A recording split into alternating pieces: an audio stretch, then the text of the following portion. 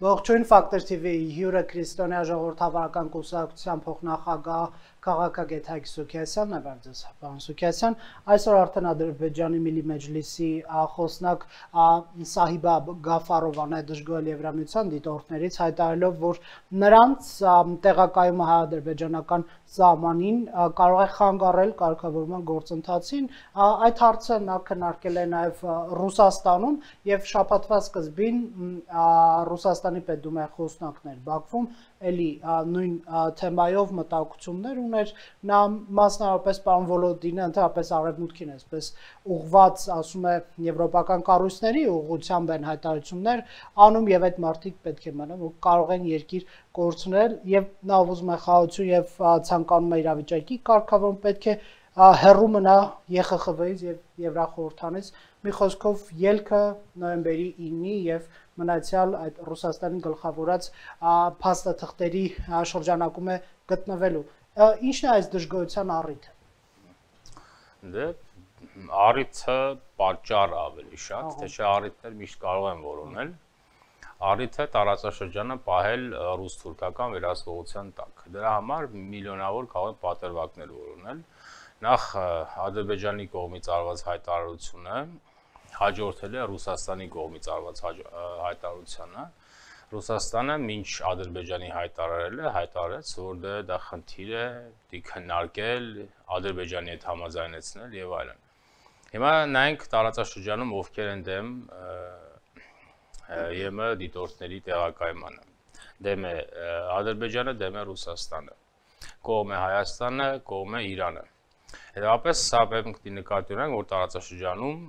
բևերներ են ձևավորվում ու շահեր բևեր չասենք, բայց շահերի համընկնումով պետությունների համախումբ Հայաստանը Իրանի հետ իհարկե շատ չափազանցնենք Իրանի գործոնը, բայց ամեն դեպքում կոնկրետ Սյունիքի հատվածով գիտենք, որ Իրանը անհանգստություններ միշտ է ցույց տվել եւ շահերի նույնություն ունի մեզ հետ եւ հերթական անգամ Ռուսաստանի եւ Ադրբեջանը իրար ամուր գրկում են Այստեղ ամեն ամեն անգամ տափակ-տափակ ձևակերպումներ որոնելով Ռուսաստանը մինչ այդ հիշում եք ասում էր որ դե Ադրբեջանի հետ պետք է համաձայնեցվի եւ մենք էլ կարող ենք մեր դիտորդները բերել։ Հիմա Ռուսաստանին հարց։ Իրենք որ ՀԱՊԿ-ին իրենք որ դիտորդները բերելու են, իրենք արդեն Ադրբեջանի հետ համաձայնեցել են, թե ոչ։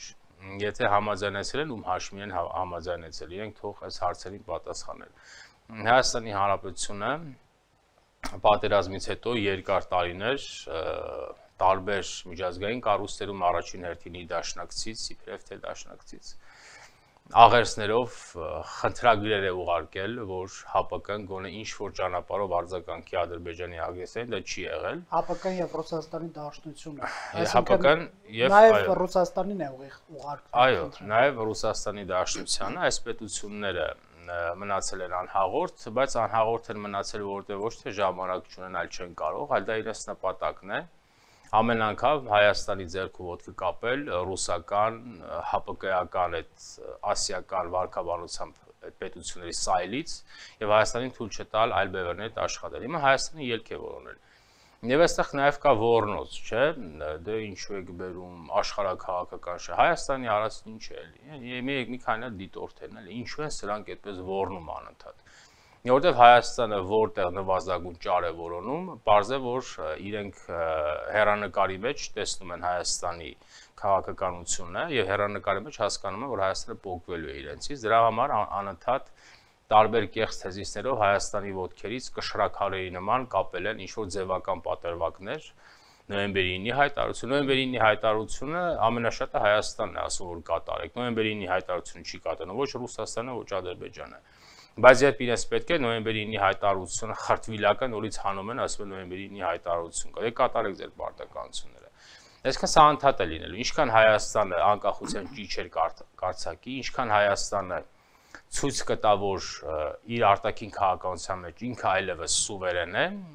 եւ նաեւ հետագայում ուղիներ կորոնի, այս նրանք անընդհատ տարբեր տեղերից ձայները հանելու են։ Դից այստեղ Հայաստանը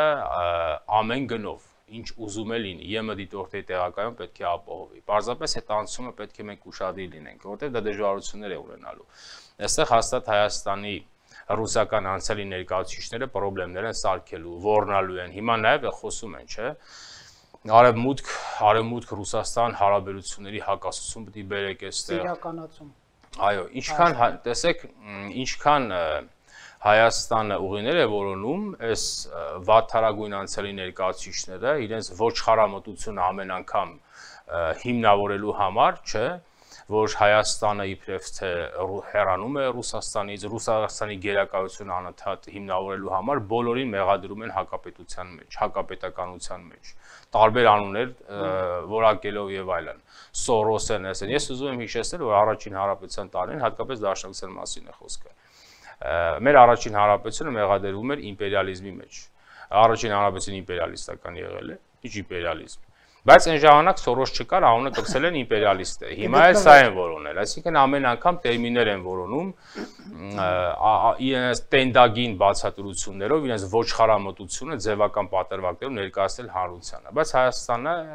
ես պնդում եմ, որ այս ճանապարհից որևէ շեղում պետք է չունենա նաև իշխանություններն եմ ուզում ասել, ինչքան ինչքան ուզում են ձեզ խանգարեն։ Եթե դուք հանկարծ մի անգամ, այս անգամ կհրաժարվեք, ենթադրենք, այս այս բևերների հետ աշխատանքից, ԵՄ դիտորդների դիտորդների հետ աշխատանքից, Հայաստանը հավերժ փակելու է դեպի քաղաքագետ աշխարհի ճանապարհ։ ԵՄ դիտորդներ, որոնց կազմում ըստ լրատվամիջոցների արդեն չհերկված տեղեկությունների 8 ֆրանսիացի ժանդարմ կլինի 15 գերմանացի ոստիկան դե երևի նրանք պատրաստված են ընդհանրապես ռազմական գիտելիքներ ունեն, չէ՞։ Ի վերջո ռազմական ինչ որ իմաստով նաև առաքելություն պետք է իրականացնեն, այսինքն կանգնելու են սահմանին եւ ռազմական ուժերի կամ ռազմական գործողությունների ականատես լինեն, այսինքն եթե դրանք տեղի ունեն, կրակեն, հարցակվեն, այդ մարդիկ ինչ որ պատկերացումներ պետք է ունենան եւ ընդհանրապես ինչ նշանակություն ունի այս ԵՄ դիտորդների առաքելությունը, որ այսքան տարբեր, չգիտեմ, շահեր են տեսնում, որ նրանք անգամ Բաքվում ռուս դեսպաններ ասում կտարածվեն Լեռնային Ղարաբաղ, այն նրանք ռազմական կոմպոնենտ են, ի վերջո ինչ նշանակություն են ունենալու սրանք Հայաստանի համար Սրանք Հայաստանին տալու են սահմանների նվազագույն կայունություն։ Եթե իհարկե սրանք չլինեին, հաստատ ռազմական ագրեսիայի նոր ձևեր լինելու են։ Միգուցե ելի կլինեն։ Բայց անք չափավորող բաներ են։ Սա Ռուսաստանի եւ Ադրբեջանի թաթը չափավորող, չասենք վերջնականապես է թաթը կտրող, բայց այդ թաթը չափավորող գործոն է մեզ համար։ Կարող ենք նաեւ մի բան էլ ասել Իհարկե, բարձր որ քաղաքացիական դիտորդներ են, շատ ուրիշ բաներ կարող են ասել, բայց արդյոք այդ քաղաքացիական դիտորդների պատը մի հատ ռուսական ռազմաբարձ չարժի, հաստատ արժի։ Այդ մենք դի նկատի ունենք։ Միգուցե դրանք հետագայում կարող են շատ արագ տրանսֆորմացիայի ենթարկվել եւ դառնալ ռազմական կոնտինգենտ։ Շատ ուրիշ բաների կարող է լինել։ Նայած էդիտորները ինչ են զեկուցելու էդիտորների հետ մեր աշխատանքը ինչպիսին է լինելու։ Բայց ես ուզում եմ նաև մեր իշխանություններին ասել։ Իհարկե էդիտորների տեղակայումը լավ է, բայց եթե մենք շարունակել ենք հորանջել, գործ չանել, ոչինչ էլ չի լինելու։ Դրան զուգահեռ Հայաստանը անընդհատ պետք է պետության պոտենցիալը բարձրացնի։ Մնացածը դե եթե նայենք ուրիշ բան էլ կա։ Հայաստանը դեմոկրատական աշխարհից ստանում է նվազագույն պաշտպանություն եւ ձևավորվում է կարող ենք ասել դեմոկրատական պատը Վրաստանով, վալը, չէ, կամ ինչպես ասում են Վրաստան, Ֆինլանդիա, Հայաստան եւ այլ դեմոկրատական պատնեշն են սարքում։ Եվ դա լավ է, եւ Հայաստանը դրա ուղղությամբ պետք է շատ աշխատի։ Ինչ ասեմ, դա մեծ ձեռնտու բան է։ Պարզապես ելի եմ ասում, դա դժվար գործընթաց է լինելու։ Խանգարելու են, հազար ու մի բան են անելու։ Բայց նաև Հայաստան տարածաշրջանը քաղաքակիրթ աշխարհի աչքի առաջ լինելու գործընթաց է եւ որտեղ հերթական անգամ Հայաստանի բոլոր փաստարկները կստանան բարձր լեգիտիմություն։ Անընդհատ արտաքին աշխարհում փաստարկներ են բերում մենք Ադրբեջանը, չէ՞ Դրա համար իհարկե փաստական հիմնավորումներ չկան, բայց դիտորդների զեկուցումները հաստատ ՄԱԿ-ում կլինեն, Եվրամիություն կլինեն, որտեղ որ կլինեն, չէ։ Դրանք ստանել են բարձր լեգիտիմություն եւ Հայաստանը որոշակի հնարավորություն ունենալու ավելի բարձր դիրքերից խոսելու եւ նաեւ ակնկալելու արտաքին աշխարհից ավելի օգնություն։ Երկրորդը դե մենք ինչ ասեմ, մենք իհարկե արտաքին աշխարհից շատ բան ենք ուզում, բայց այդ պետությունները ինչ կարողանում դա էլ տրամադրում են։ Այդ պետությունները Հայաստանի նկատմամբ որևէ պարտականություն չունեն Բայց հավանաբար գնահատել են Հայաստանի նեղդրությունը, գնահատել են հավանաբար մեր ժողովրդի մշակույթ քաղաքակրթությունը, գնահատել են նաև որ տարածաշրջանում ավտորիտար գորիլաները գրոհում են դեմոկրատական պետություններին, դեմոկրատական ժողովուրդներին, դրա համար որոշել են գոնե նվազագույն օգնություն տալ։ Բայց այդ նվազագույն օգնությունը կարող շատ ավելի մեծ օգնության վերածել։ Բարձրապես մենք պիտի լավ աշխատենք։ Պարոն Սուքյասյան, եկեք նաև այդ մեծ պատկերը նայենք եւ քննենք, որում տեղի ունենում այս դիտորդների ագալը, այսինքն գրեթե համաշխարհային պատերազմի է վերածված ռուս-ուկրաինական այդ պատերազմը ՆԱՏՕ-ն այսպես շարունակում է զենքի մատակարարումը եւ վերջերս նրանց պաշտպանության նախարարների հավաքներ ՆԱՏՕ-ի կենտրոնակայանում եւ այսպես հիմնականում Ուկրաինայի հակաօթային պաշտպանությունը լինելու է առաջնահերթ, նաև տանկեր են փոխանցվում եւ ռազմական ինքնաթիռներ, ուղաթիռներ առաջիկամ հավանական է պայմանավորվածություն ձեռք բերի եւ այսինքն ռուս-ուկրաինական պատերազմը մտնում է մեկ այլ ֆազա, հա, մեկ այլ մակարդակ։ Այստեղ Հայաստանի դիրքավորման հարցը, ինչպես պետք է դիրքավորվի։ Իհարկե կա մի կողմից ավտորիտար եւ ագրեսիվ Ռուսաստան, որը այստեղ փաստերով ենք ուղղակի մենք ֆիքսում նրա ագրեսիաները եւ ավտորիտար լինել եւ կա արևմուտք, որը ԵՄ դիտորդներ է ուղարկում, որը որևէ կոմպլեքս չունի Ադրբեջանի ռազմական սադրանքները գնահատելու եւ մենք բարբերաբար լսում ենք նաեւ կոչեր Ալիևին ուղված Հայաստանից զորքերը հանել եւ Լաչինի միջանցքը բացել այս դիրքավորման հարցը եկեք ընտրենք եւ արդյոք ժամանակը չի եկել կողմնորոշվելու, հա, Հայաստանը որ ծիրում է։ Դե ինչու է իրադրությունը խարը, որտեվ աշխարհակառույցը ինքնին նոր տեկտոնական շարժերի մեջ է։ Այստեղ հազար ու մի բաներ կարող է լինել այս գիգանտերի բախումից տուժում են նաև տարածաշրջաններ, փոքր պետություններ, չէ՞, ինչպես օրինակ մի ջիվախ կա Լենին, չէ՞, որ ասում էր անտարը որ գտվում է, ստաշեղներն էլ թռնում են դուրս։ Այս գիգանտերի բախումից նման բաներ հնարավոր են։ Հիմա, բայց համաշխարհային պատերազմը թե չէ երրորդ։ Իհարկե ոչ։ Դա հավանաբար ես կարծում եմ Ռուսաստանի ուզածն է, եւ ինքը նաեւ այդ շատ կուզենա որ այդ թեզը դրվի շրջանառության մեջ որսի ինքը երևա որպես բևեր նայեք ասեն նատոյի դեմ են պատերազմը հա իհարկե ինքը չի կարող նատոյի դեմ պատերազմը նայեք ոնց է ռուսաստանում շատ նաեւ ոչ միայն ռուսաստանում դե խոսում են աշխարհը բազմաբևերը եւ այլն աշխարհը բազմաբևեր չի ընդհանրապես բազմաբևերայնությունը դա տեսական մտակառույց չի ոչ էլ ինչ որ ձևավորված տեսություններ են, որի շրջանակներում հարցը քննում է։ Բազմաբևեռայնությունը կամ աշխարհակարգը ուժերի երևույթների իրական հաշվեկշիռն է։ Հիմա եթե ուժերի իրական հաշվեկշիռը նայում եք, աշխարհը երկբևեռ է։ Չինաստան եւ ԱՄՆ, Ռուսաստանը բևեռ չի ոչ տնտեսապես, ոչ էլ որևէ կերպ։ Իհարկե ինքը ձևականորեն կփորձի այդպես Երևալ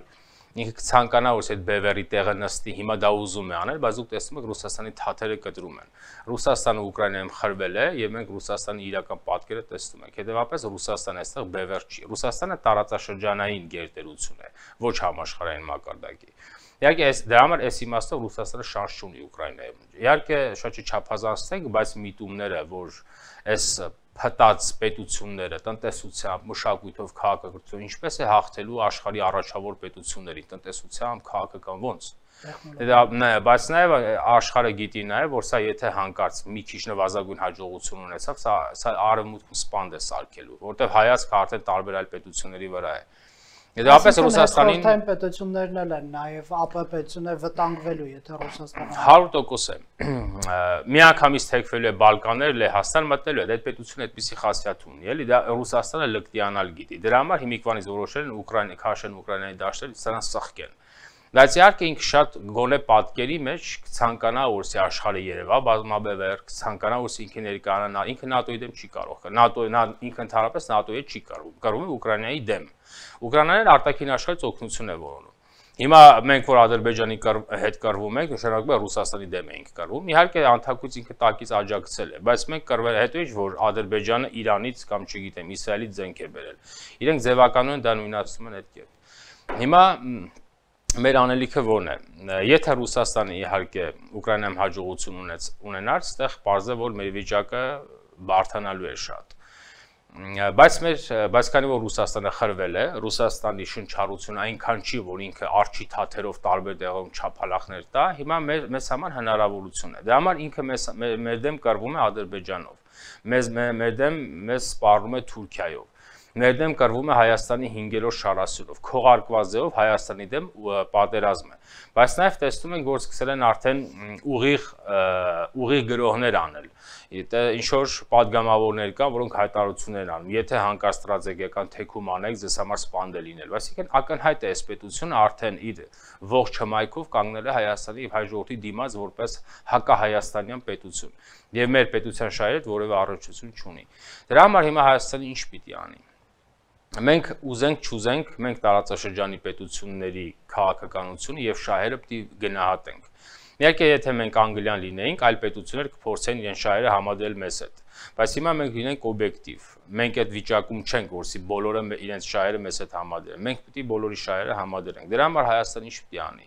Մենք ամեն դեպքում Թուրքիայի հետ խոսելու ելք պիտի որոնենք։ Դա լավ է, վատ է, այստեղ հանկարծ 4 հատ բանը տափակ հայրենասեր վրա չտա Թուրքիայի հետ չի կարելի խոսել բոլորի հետ է կարելի եթե Ռուսաստանի հետ կարելի է խոսել Թուրքիայի հետ էլ է կարելի խոսել Նաև ասեմ Թուրքիայի եւ թվում է ժողովրդի իմանա, մեր պատմությունը չգիտեն, դրա համար տապակ-տապակ շատ են խոսում։ Թուրքիան իհարկե էթնիկական ատելություն ունի, մենք էլ այս նկատմամբ ունենք եւ դա օբյեկտիվ է։ Բայց Թուրքիայի քաղաքական ատելությունը Հայաստանի նկատմամբ դրանից է, որ մենք դարերով եղել ենք ռուսասեր, որովհետև եթե մենք նայենք մեր պատմությունը 12 անգամ ցարական Ռուսաստանը Թուրքիայի վրա հարձակվել է Հայաստանում եւ արևմտահայության միջոցով։ Դա համար հավանաբար մի օր որոշել են դրանք մորթենք բրծնենք սրանց։ 12 անգամ ռուսների հետ հարձակվում են թուրքերի վրա։ Կարող է սա էլ կա։ Հետևաբար եթե Հայաստանը հիմա ցույց տա աշխարհին, եւ նաեւ տարածաշրջանի պետությունը, որ ինքը իր արտաքին քաղաքականության մեջ ինքնիշխան է, որտեղ միջև այդ ինքնիշխան չի եղել։ Դա մենք հետեւապես Թուրքիայի հետ չեմ ասում լեզու գտնելու, բայց հարաբերությունների մինիմում ստեղծելու հնարավորություն կունենանք։ Իրանի հետ հարաբերությունները մենք տեսնում ենք ամեն դեպքում, որ Իրանի դեսպանն էլ եւ Իրանը տարբեր առիթներով տարածաշրջանի պետությունները հոշոտելու Ադրբեջանի, Թուրքիայի, Ռուսաստանի քաղաքացիությունը անընդհատ մերժում է։ Հետևաբար այս իմաստով Իրանն էլ է մեծ այդ դաշնակից չասենք, բայց շահերի համատեղություն։ Կներեք զուտ Իրանի մասով մի լրացում, ուղղակի շատ են գուժում, որ Իրանը ԵՄ դիտորդների դեմ է լինելու, հա, այսպես վերում են որ ասում են արտատարածաշրջանային ուժերն դեմ են, բայց մարդիկ կանգնեցին, ասեցին դեմք են բացած։ Իրենք ոչ թե իրենք գուժել են, հա իհարկե դա էլ են գուժում, բայց ես իրենց իրենց նպատակի մեջ ես ցանկությունն է եղել, որ Իրանը ինչ որ ձև արտահայտի, որ դեմ է դրան։ Հավանաբար ուզեցել են Իրանից մի հատ падգամավոր գտնեն, որ այդպիսի արտահայտություն անի, որ որպեսի պատեր ունեն այստեղ պետությունը ցնցելու։ Այսինքն ես նպատակը Իրանին բզելն է, ցանկու պատկերը մխտռելն է, մեր ժողովրդի գիտակցության վրա ազդեցություն ունենալն է, անընդհատ մխտարելն է պատկերը, բայց մենք տեսնում ենք, որ ամեն դեպքում քաղաքականությունը այնպես չի, որ միաշերտ է եւ այդ քաղաքականությունը քիչ թե շատ բարձվում է։ Մենք մեր բարձությունը պետք է հասկանանք։ Իրանի հետ է հարաբերությունը։ Հնդկաստանը ամեն դեպքում ռազմաքաղաքական իմաստով լավ հարաբերություններ կան։ ԵՄ դիտորդները սրանք մեր այն զամբյուղի մեջ այն կշռակարերն են, որոնք քիչ թե շատ կամ Հայաստանի հնարավորություն են տալիս, ենթադրենք, տարին 10%-ով, 5%-ով թույլատրել Ռուսաստանի ազդեցությունը։ Այստեղ ամենակարևորը նաև որն է, որ Հայաստան որ Հայաստանը ընկալվի որպես արտաքին քաղաքականության մեջ ինքնիշխան պետություն։ Եթե սա կընկալվի թեկուս Թուրքիայի կողմից, բոլորի կողմից, դուք վստահ եք, որ Հայաստանի համար հնարավորություն շատ ավելի շատ են բացվելու։ Բայց իհարկե մենք գիտենք, որ տարածաշրջանում կան պետություններ, որոնք որոնք ժամանակին ստեղծել են ռազմավար, մեզից գողացել են դա, իրենք դա մարսելու ճանապարհներ են որոնում։ Ոնց են անելու, որ դա մարսեն։ Ոնց են անելու, որ սև լճերը մարսեն։ Ոնց են անելու, որ ջերմուկի բարձունքները մարսեն։ Իրենք ճանապարհներ են որոնում։ Դրա համար իրենք ինչ պետք է անեն։ Պետք է կարողանան տարբեր պատրվակներով արտաքին աշխարհի ներխուժումը տարածաշրջան, որը իհարկե թույլ է, բայց մենք տեսնում ենք, որ պատղունցներով ինչ որ բաներ կա, ԵՄ դիտորդներ են գալիս, սա արտաքին աշխարհի ներթափանցում է տարածաշրջան։ Հիմա սրանք դրա համար տարբեր պատրվակներով պատնեշներ են պետք է ստեղծեն, որսի դա չլինի, որսի կարողանա տարածաշրջանը հոշոտել։ Բայց մենք տեսնում ենք, որ ամեն դեպքում Հայաստանը որոշակի ճեղքումներ արել է։ Ես իշխանությունից պահանջում եմ, որ CS քաղաքականությունը շարունակեն։ Թուրքիայի մասով պարոն Սոքյասյան, պարոն Միրզոյանի եւ Չավուշօղլուի այդ ասուլիսից մենք մի քանի արդյունքի մասին իմացանք անի կամուրջի վերականգնում նաև հայ-թուրքական սահմանի ամբողջական բացմանը ընթառաջ ենթակառուցվածքների մասին հոգ տանել, հա, եւ այնտեղ նաեւ Չավուշօղլուն խոսում էր Մետաքսի ճանապարհի մասին։ Հայաստանում գիտեք այս Թուրքիայի թեման միշտ սուր է ընկալվել եւ սուր գնահատականների, այսպես ասենք, բովում է քննարկվել եւ մի ճշմարտություն է եղել, որ թշտամի են դա ճշմարտություն է մեզ վտանգ է սպառնում նրանից դա էլ է ճշմարտություն եւ պետք չէ խոսել երրորդ կոմպոնենտի մասով արդեն հայտնվել են տարբեր ուժեր, որոնք պետք է խոսեն, հա, Հայաստանի անունից եւ գար մեզ ասեն թուրքերը ինչ են կարծում մեր մասին։ Բայց վերջին այս երկրաշարժը առիթ եղավ, որ ճեղքվի հայ-թուրքական այդ պատը, հա, գոնե չխոսելու կամ չգիտեմ, իրար իրարից վախենալու պատը իրար դեմ դիմաց։ Ինչ է կարծում, Հայաստանը ունակ է արդյոք այդ ձեր ասած մինիմալ խոսակցության, հաղորդակցության ուղին պահելով չասեմ Թուրքիայի թշնամանքը կառավարել, դա շատ վերամբարձ կհնչի, բայց գոնե հասկանալ իմանալ թե ինչ ինչ վտանգ է սպառնում որովհետև մի բան է, երբ որ դու անակնկալի ես գալիս, մի մի այլ բան է, երբ որ հասկանում ես, քեզ ինչ վտանգ է սպառնում, փորձում ես դրան պատրաստվել։ Դա կարողանանք կառավարել թե չէ, մի քիչ դժվար հարց է իհարկե, որովհետև դա ամեն դեպքում 90 միլիոնոց պետություն է։ Եթե այսօր օբյեկտիվ լինենք, մեր շահերից է բխում Թուրքիայի հետ մինիմում հարաբերությունների որոնումը, որտեղ եթե Թուրքիային նայեք, դժվարանում եմ Թուրքիան ցանկությունի մեզ հետ շփվելու թե չէ, որտեղ Անկարայում նստում են Երևանը չի երևում։ Եվ այդպես դրա համար մենք իրենց տեսադաշտում կանք թե չկանք, դա մի քիչ ռազմավարական իմաստով քննարկելի հարց է։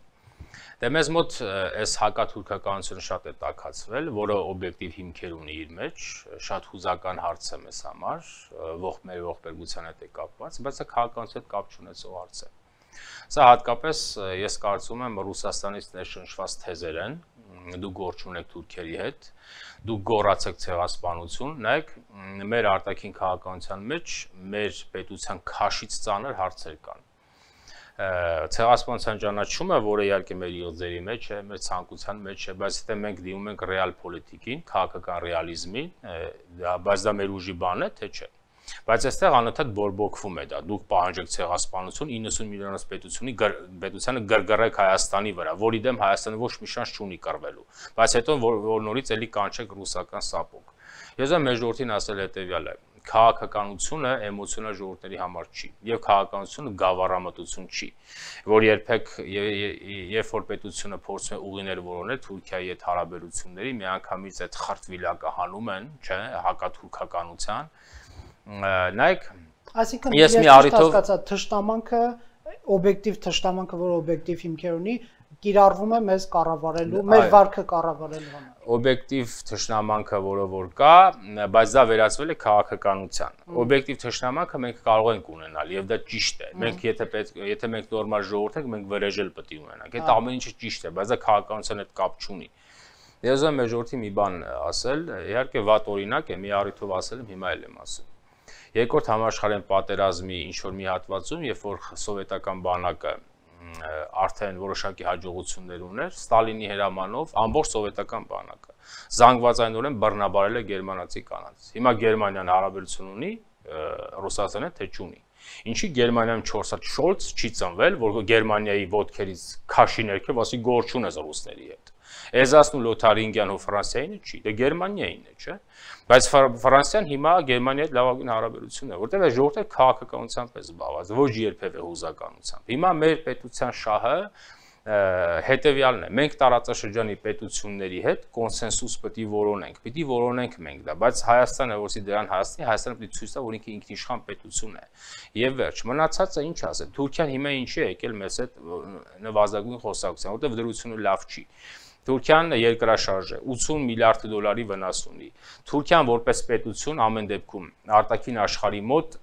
ընկալում է որպես Ռուսաստանի հետ գործարքների գնացող պետություն։ Թուրքիայի իմիջը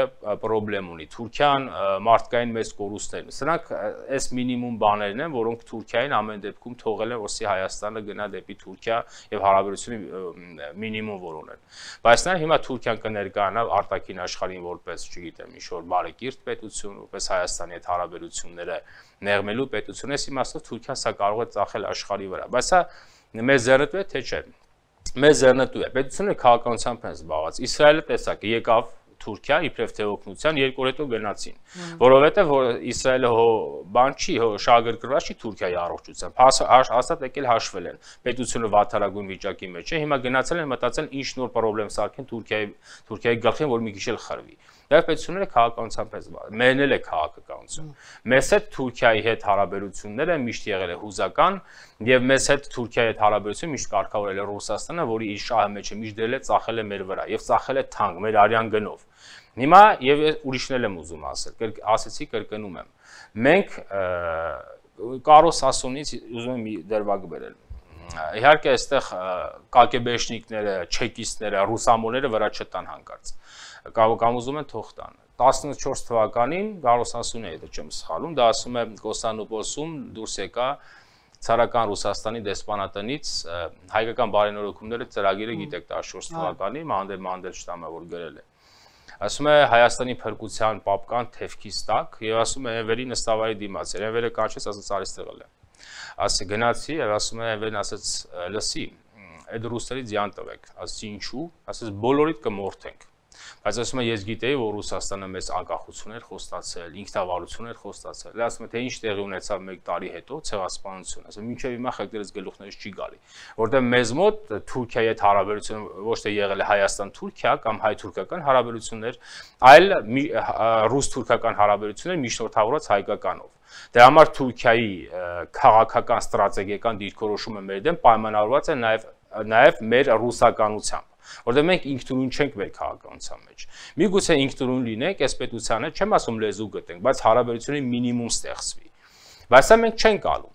Դրա համար Հայաստանում անընդհատ բորբոքվում է հակաթուրքականություն։ Հայ եղեք, ինչ, ես չեմ ասում, որ ժողովուրդ հակաթուրքական պետք չլինի, պետք չլինի, բայց դա չպետք է վերածվի քաղաքականության, որովհետև քաղաքականության մակարդակով մենք մորթվում ենք անընդհատ։ Դա այստեղ անընդհատ դա բորբոքվում է։ Դրա համար Հայաստանի չպետք է անի, քանի որ Թուրքիայի դրությունը այս բանին նեղ է,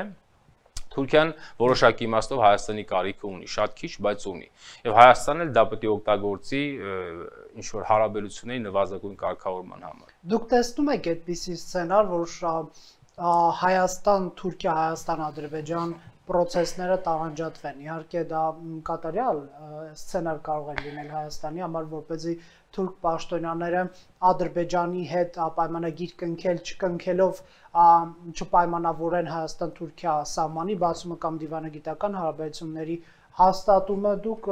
այդպիսի հնարավորություն տեսնում եք թե էլի թուրքերը անգամ այս երկրաշարժից հետո կշարունակեն իհարկե այնտեղ Էրդողանն ասում էր այս Հայաստանի այս քայլը կազդի մեր հետագա հարաբերությունների վրա, հա, այս մարդասիրական քայլը Չավուշօղլուն էլի նման բաներ ասում, բայց թուրքական քաղցր, այսպես ասենք, խոսքերն էլ երևի շատ տետ չի տրվել։ Կարծում եմ, այո, այս պահին նման հիմնավոր պնդում անելու հիմքեր մենք չունենք, որ կտարանջատեն հայ-թուրքական հարաբերությունները Ադրբեջանից, բայց բայց դա կախված է կոնկրետ գործոններից։ Նայած Թուրքիայում ճգնաժամը ինչքան կխորանա, նայած Թուրքիան ինչքան կշարունակի Ռուսաստանի հետ մերձենալ եւ արտաքին աշխարհի արգահատանքը ձեռք բերել։ Սրանք գործոններ են։ Ինչքան Թուրքիան կթուլանա, ինչքան Էրդողանի դիրքերը կթուլանան, ինչքան շատ ուրիշ բաներ, սրանք Թուրքիային կպահեն Հայաստանի հետ հարաբերությունների կարգավորելու տրամաբանության մեջ, միգուցե նաև դիսկուրսի մեջ, հայտարարությունների մեջ, բարեկամության ժեստերի մեջ, բայց որ պահին սա թաթերը լիզեց, հաստատ նորից Ադրբեջանին գրկելու է բայց այստեղ ուրիշ բան էլ կա գրկելու են եւ եթե այդ այդ գրկախառնության մեջ Հայաստանը մնաց ռուսական սայլին կախված, այստեղ Հայաստան չի լինելու Բայց եթե Հայաստան, նույնիսկ եթե Թուրքիան եւ Ադրբեջանը իրար գրկեն, եթե Հայաստանը ամբողջ աշխարհին ցույց տա, որ ինքը իր արտաքին քաղաքականության մեջ ինքն իշխան է, ինքն ունի որոշում կայացնում, շատ ուրիշ բաներ լինելու։ ԵՄ դիտորդները հսկայական ազդեցություն ունենալու։ Այս պահին դրանք քաղաքացիական դիտորդներ են, բայց այս շատ արագ կարող տրանսֆորմացիա ենթարկել ուրիշ բան դառնա։ Այս գործոնները հաստատ Թուրքիան եւ Ադրբեջանին չափավորել են։ Մեզ մնում է ինչ։ Ես չեմ ասում մենք պետք է Ռուսաստանից, չգիտեմ, այնտեղ թողնենք եւ այլն եւ այլն։ Ինչքան Հայաստանը այդ բալանսի մեջ մի քիչ իր կշռակարերը կուժեղացնի, այնքան նույնիսկ Ռուսաստանը չուզենալով իհարկե, բայց նույնիսկ Ռուսաստանը գալու գալու է Հայաստանի հետ կոնսենսուսի։ Քանի որ Հայաստանի կշիռը այնքան չի, Հայաստանը պարտված պետություն է, Հայաստանում ողբերգություն անընդհատ, ողբը անընդհատ քարոզվում է, ոնց որ մեր պատմության գրքել են։ Նույնիսկ եթե մի հատ անշար դրվագ է, կողքից ողբը հետը խառնած է անընդհատ։ Սա քանի որ քարոզվում է, Դարձե որ այստեղ իրենց մանևրի հնարավորությունը շատ են, բայց մենք տեսնում որ ամեն դեպքում սրանք քիչ թե շատ չափավորվել են։ Իհարկե ջղաձգությունները շատ է։ Ռուսաստանի մոտ նյարդային վիճակը շատ է, որովհետև հանկարծ դարերի, դարերի իր քաղաքական ստրուկը որոշել է այսօր իրենից ազատագրվել։ Եվ դրա համար այս գիշատիչը իհարկե թուլացած է, բայց այդ նյարդերը անընդհատ հորդում են մեր վրա։ Դա անընդհատ տարբեր падգամավորներ են դրել, այստեղ 5-րդ շարասունն են դրել շրջանառության մեջ։ Պետությունը չթողեր շնչառություն այլ բևեռների հետ։ Հայաստանը ինչքան այլ բևեռների հետ կաշխատի, Թուրքիայի հետ էլ հնարավոր է գալ երկխոսության։ Իհարկե, չափ չափի մեջ իհարկե։ Բայց եթե Հայաստանը ուղիներ որոնես, միայն ԵՄ դիտորդներ, մենք չգիտենք 2 տարով են թե չէ, կա 10 տարի է կանգնում, դա 20 տարի է կանգնում, կա տրանսֆորմացիա, այստեղ Թուրքիան հա-, 100%-ով չափավորվելու է։ Ուրիշ բան էլ կա։ Ա, Ուկրաինան եթե հաղթեց, եթե հանկարծ հաղթեց, ինչը ես անձամբ սրտած ցանկանում եմ Ուկրաինային։ Ուկրաինան դառնալու է գիգանտ, Ուկրաինային դնելու են որպես վերահսկող պետություն Ռուսաստանի վրա։ Այս դեպքում արդեն Թուրքիան որպես պետություն իր ֆունկցիան կորցնում է։ Արտաքին աշխարհը, Եվրոպան, Արևմուտքը Թուրքիայի առողջությամբ եւ Թուրքիայի ամբողջականությամբ միշտ հետաքրքրված է եղել որպես ֆունկցիա Ռուսաստանի դեմ օգտագործելու համար։ Հիմա եթե այդ ֆունկցիան անցավ Ուկրաինային, Թուրքիան այդ ֆունկցիան կորցնելու է։ Սա ինչ ասեմ, սա գործընթացներ են, քաղաքականություն առանց երևակայություն չի լինում։ Այն ժողովուրդները, որոնք երևակայություն չունեն, այդ ժողովուրդները միշտ ցեղասպանվում են։ Դա համար մենք սա պիտի նկատի ունենանք։ Դա հնարավոր բան է, որ Թուրքիային վաղը միսօր չափավորեն։ Դա մենք պիտի գիշերցրեք աշխատել։ Ինչը որ կախված չի մեզանից, թողնենք մի կողմ։ Դա մեզանից կախված բան չի։ Ինչ ինչն է մեզանից կախված, որտեղ մեր ժողովուրդը նայեք, սերեր ունի, իրենից չկախված հարցերի մասին մտածել Չարենցի երկիրներին կարդացել եք, չէ՞, որ ասում է թուրքը մտել է Կարինի պատերի տակ, գերզրումն է, մորթում է ժողովրդին։ Ասում է այդ ժամ մազութի սակով նստած իր երկրորդ հարգի պատշգամբում մտածում էր աշխարհի բաների մասին։ Երբ կապ չունեցող հարցերի մասին։ Ինչը մեզ հետ կապ չունի չեք մտածում։ Մեզ հետ կապ ունեցողը ո՞րն է։ Հայաստանը որպես պետություն ներսից անդադ պոտենցիալը ուժեղացնել, Հայաստանում պիտի չափավորվի 5-րդ շարասյունը, ռևանշիզմը պիտի չափավորվի, Հայաստանը պիտի Իրանի հետ լավ աշխատի։ Մենք ամեն ինչ պիտի անենք, որպեսզի ԵՄ դիտորդների տեղակայման process-ը շատ արագ տեղ ունենա եւ սահուն տեղ ունենա եւ արևմուտքի հետ լավ աշխատենք։ Եվ հնարավորություն կա, որ Հայաստանը այս շրջանում կփոխվի դեպի դեպի ինչ ասենք, դեպի քաղաքակիրթ աշխարհ, դեպի իր ավազանը ամփոփելով խոստանում եմ վերջին հարցը Ռուսաստանի հետ դուք ինչպիսի հարաբերություն ու առողջ կհամարեք մեզ հետ առողջ Ռուսաստանը մեզ հետ առողջ հարաբերություն պետությունը գոյություն ունի, էլի։ Այո գոյություն ունի ու կունենա հարցը այլ է թե պետությունը թե այդ պետությունը ինչպեսին կլինի մեզ իհարկե ձեռնտու չափավոր Ռուսաստանը եթե Ռուսաստանը չափավոր պետություն եղավ նա մեզ հետ լինելու է իսկական դաշնակից իսկ Ռուսաստանը թուլացած, Ռուսաստանը ագրեսիվ մեզ ձեռնտու չի, որովհետև թուլանալու դեպքում ինքը միշտ դաշնակից է որոնում Թուրքին, ուժեղանալու դեպքում ուղիղ գրողներ է միշտ անում։ Դա համար մեզ ձեռնտու չափավոր Ռուսաստանը։ Ես հույս ունեմ, որ այս անգամ գոնե այս աշխարհը այս ռուսական թաթը մի անգամ կտրելու է, որովհետև միշտ թողել են թույլ պահին օգնել են, հետո սա աշխարհը հոշոտել է, թույլ պահին ռուսային օգնել են, սա աշխարհը հոշոտել է։ Սրան մի անգամ ենթադրում եմ Գերմանիայի նման պետք է պատժեն, պարանը կապեն վզին շպրտեն ընդհանրապես երկրորդ երկրների շարքը եւ դառնա այդ գետի տակից դուրս գա իսկական դեմոկրատական Ռուսաստան։ Այս դեպքում Ռուսաստանի հետ հարաբերությունը լավ կլինեն ուրիշ բան էլ կա։ Ինչքան Հայաստանը կրկնում եմ, գրկում է ինքնիշխանությունը, լինում է ինքնիշխան, ինչքան լինում է արժանապատիվ, աշխատում է այլ բևեռների հետ, ինչպես կրկնում եմ, Հնդկաստանի հետ, ինչպես օրինակ Իրանի հետ, ինչպես օրինակ ԵՄ դիտորդներ են։ Ինչքան Հայաստանը այս կշռակարը կուժեղացնի, այնքան Ռուսաստանը գալու է մեզ հետ կոնսենսուսի։ Շնորհակալ եմ։ Խնդրեմ։ Factor TV-ում հյուրընկալել էինք Քրիստոնյա ժողովրդավարական կուսակցության փոխնախագահ քաղաքագետ Հայկ Սուքիասյանին։